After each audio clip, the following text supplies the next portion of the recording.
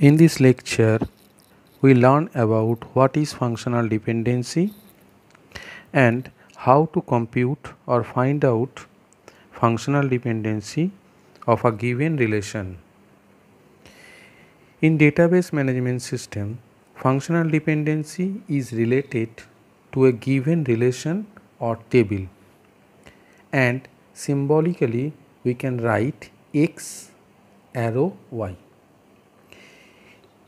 x is the determinant attribute and y is the dependent attribute. And also x arrow y implies that if we choose any x value from a given relation then there must have a y value within that relation. Then x arrow y satisfied. Okay. Let's take an example.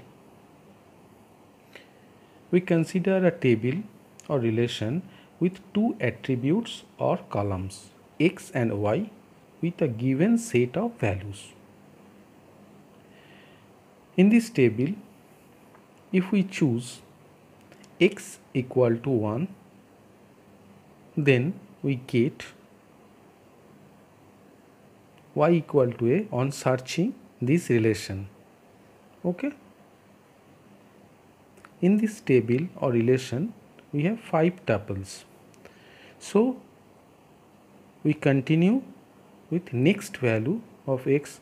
That means x equal to 2 and we get y equal to b. Similarly x equal to 3 y equal to c x equal to 4 y equal to d and x equal to 5 y equal to d. Okay? So from this table we may conclude that x is functionally determines y. That means x arrow y satisfied with this given relation. Now we check whether y is functionally determine x or not. Okay?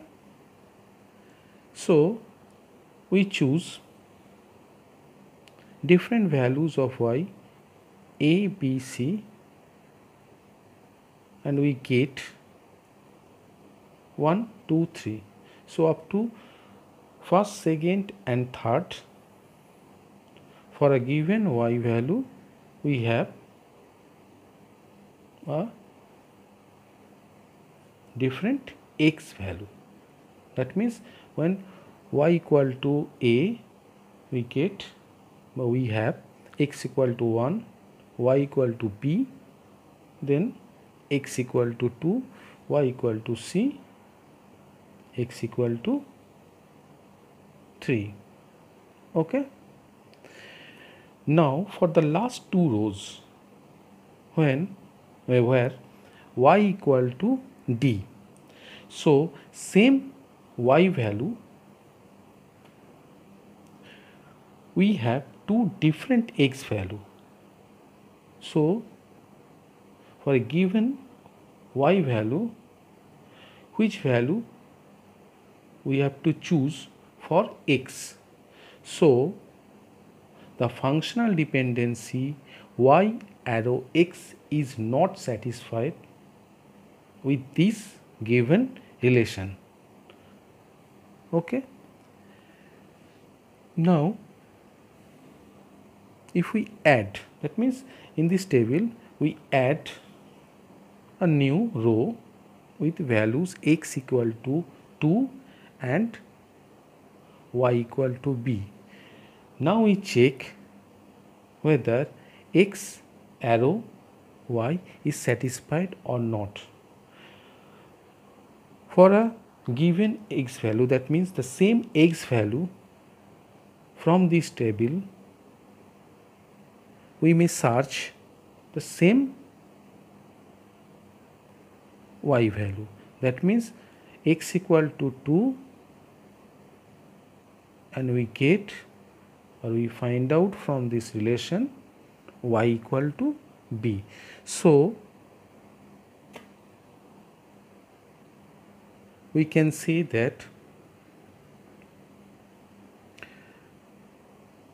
for any relation if we consider any two tuple t1 and t2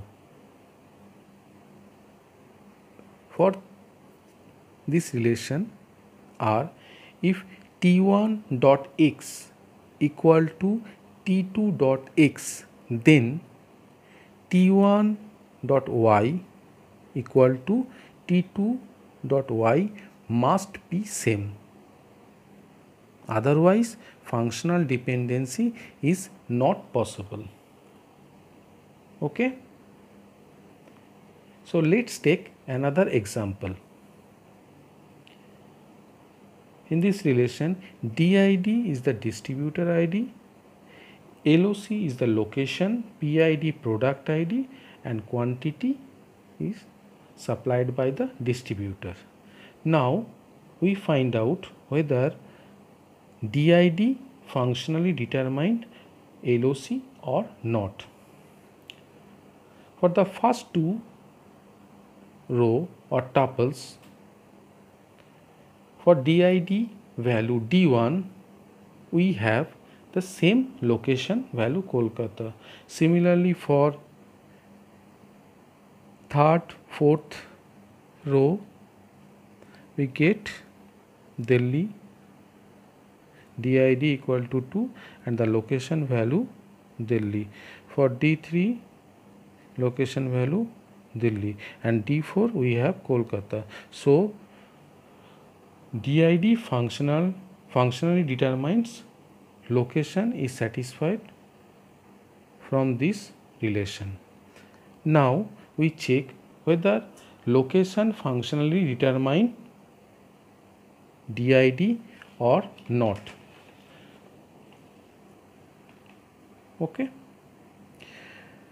Now we consider second row and the sixth row where the same location value we have two different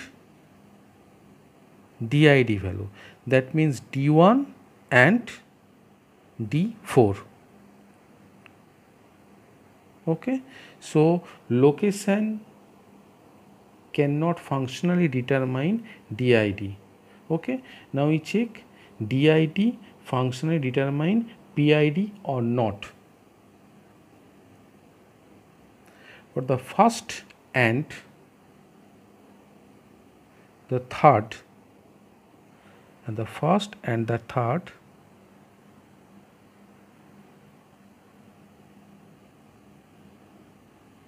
functional determines did arrow pid that means for first d1 we have the same pid uh, value. For the second a third and fourth row. For the same DID value D2 we have different PID value. That means PD1 and PD2 so DID arrow PID it not possible in this relation. Okay? So PID and DID PID arrow DID is not also not possible because for the given PID value that means first and the third row first row and the third row but the same PID value we have two different DID value D1 and D2 now we consider DID functional determines quantity is satisfied because for the same DID value we have the same quantity value. Similarly for quantity also functionally determine DID. Okay. Now we furthermore continue our discussion that means did pid if we consider two attributes as a set. That means did pid function determine quantity or not. Because here this functional determine uh, functional de dependency satisfied because did functional determine quantity already shown. So whatever the attribute associated with did is always this functional dependency is satisfied with this given relation. Also did pid function determines location. Did pid function determines location quantity. And did pid also satisfied did that means did pid function determines did and the last one is also possible. Okay?